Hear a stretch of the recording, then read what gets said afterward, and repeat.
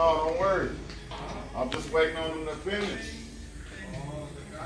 Not the same guy, different guy. Huh? Who, the regular guy? Back at you again. It's kind of dark in here. But there it is. We got the original steering column.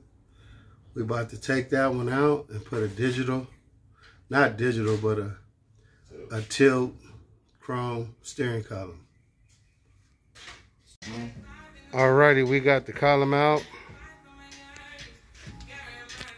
This the original wiring harness. Safety neutral.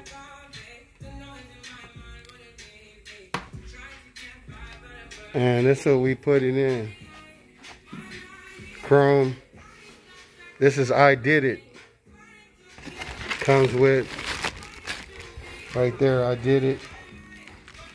For the 66.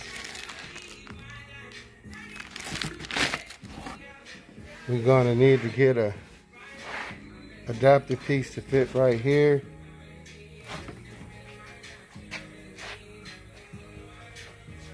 With the original one, it looks like this. And this piece right here goes to the gearbox.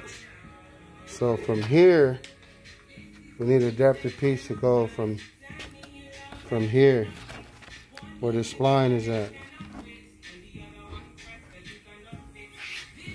To fit the shape of this one.